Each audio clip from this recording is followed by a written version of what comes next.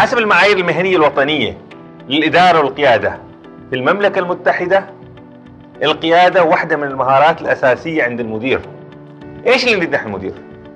ماذا تجاوز هذه المسألتين. أول شيء تسيير الأعمال اليومية توزيع الموظفين بطريقة مناسبة مع التركيز على الأداء يوزع الوظائف ويسير الأعمال اليومية. وأيضا نحتاج عنده ملكة القيادة اللي خلق رؤية استراتيجية يشوف مدى البعيد. ويقدر يلهم الموظفين ويقدر يلعب معهم فريق يقدر يساعدهم يثقوا في أنفسهم ومن ثم ينتجوا.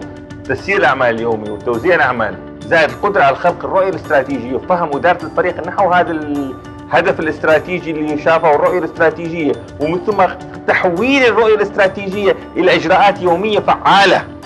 وقيادة الفريق نحو هذه الإجراءات الفعالة اليومية عشان يحقق الرؤية ومن ثم تغييرها وإلهامهم هذه مع بعض القيادة أو الإدارة. والشخص اللي يكون قادر على أنه يسوي هذه العنصرين الجزئين يكون هو مدير أو قائد ناجح. هذا هو المدير القائد الناجح. نحن نريد شخص ما يتفلسف شخص يقدر يفهم وين نحتاج نحن نروح عنده رؤية يقدر يحول هذه الرؤية إلى إجراءات يومية يقدر يقود فريقه موظفيه في هذه الإجراءات عشان يحقق الرؤية وتتغير الظروف. فلازم هو تكون عنده قدرة إنه حتى الرؤية ما تتغير بناء على الحركة اللي ويكون عنده مرونة ويقدر يلهم موظفيه ويعزز عندهم الثقة. هذا هو المدير. هذا حسب المعايير المهنية الوطنية للإدارة والقيادة بالمملكة المتحدة.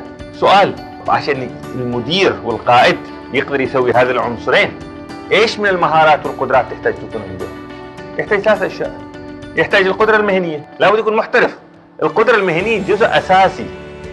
ما يتخلق المدير والقائد بين ليلة وضحاها. لابد تكون عنده قدرة مهنية ومران وخبرة.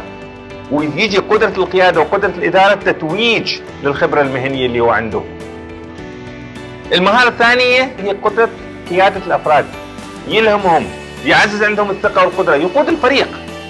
والجزء الثالث القدرة على التغيير. لأنه الوضع خطر نحن قلنا ما في استقرار في تغيير. اللي كان أمس ما هو اليوم واليوم ما هو بكرة. فإذا نحن نتكلم عن ثلاثة القدرة المهنية الأساسية اثنين قدرة قيادة الأفراد وثالثة قدرة قيادة التغيير. إيش يعني مهارة قيادة الأفراد؟ حسب المعايير المهنية الوطنية للإدارة والقيادة.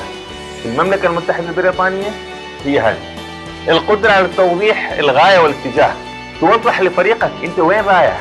فريقك رؤسائك المدراء الموازين لك كل اللي أصحاب المصلحة. تقدر توضح لهم؟ أنت وين رايح؟ تقدر توضح لهم الغاية والاتجاه. تعزيز الثقة والاحترام المتبادل والقيم والمشتركات الأخرى بينهم. تعزز الثقة والقدرة والاحترام. تكون واحد منهم فيهم. مثل ما علمنا الرسول في قيادته للأمة. كان يجمع الحطب وكان يشاركهم هي هذه المشاركة مشاركة القيم والاحترام. التواصل مع الآخرين بوضوح وبإيجاز. ولما تتناقش وتعرض المشكلة تعرضها بوضوح. ولما تتكلم عن هدفك وغايتك تتكلم بوضوح وبإيجاز. المهارة الرابعة دعم وتكوين الأفراد. أنت باعتبارك أعلى منهم مفترض مهارة وخبرة وقدرة وعلما أنت المفروض تنشر هذه المعرفة فيهم. لازم تعزز عندهم قدرة لازم تساعدهم تعلمهم. تكون واحد منهم فيهم ما تشعر بالرفعة لكنك تعزز عندهم القدرة وتنقل لهم المعرفة اللي عندك. عشان مع مرور الوقت. هم ممكن يحلوا محلك وانت تروح مكان أكبر. طب أنت كيف ممكن تروح مكان أكبر عشان حياتك الشخصية وانت ما ما مخلي حد؟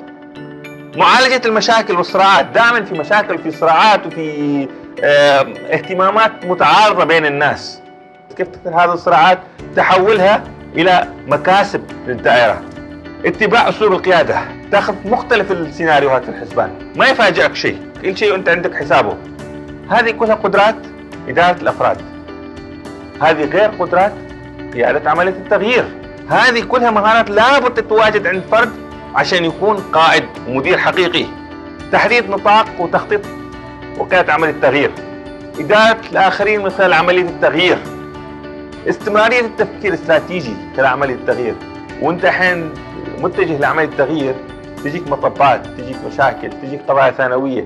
تنسى الأصل وتروح مع الفرع وتندمج فيه وتنسى أنت وين كنت.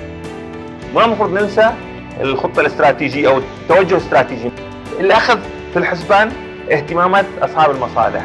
قد يكونوا أصدقاء قد يكونوا أعداء قد يكونوا بنوك قد تكون رؤساء قد يكونوا شركات أخرى. كلهم لازم عندهم مصالح في حركتك ولهم قدرة على النفوذ والتأثير. لازم تعرف كل واحد إيش يريد منك وإيش قدرته على التأثير فيك وعلى اساسه تتعامل معاه على أساس قدرته وإيش اللي يريده منه توقعه. أصحاب المصالح. تشجيع الآخرين على أن يكونوا خلاقين ومبتكرين. وأنت نجاحك يتعزز كلما ساعدت الآخرين إنه يقدروا يفكروا بابتكار يمكن يوصلوا لأفكار أنت ما وصلت لها قدرة على إدراك الفرص للقيام بعمليه التغيير. دائما في فرص كيف تقدر تدرك وين الفرصة؟ عشان تقود نحو التغيير. هذه المهارات اللي تحتاج تكون عند المدير والقائد عشان يقدر يكون مدير حقيقي مدير قائد على قادر على الإنجاز.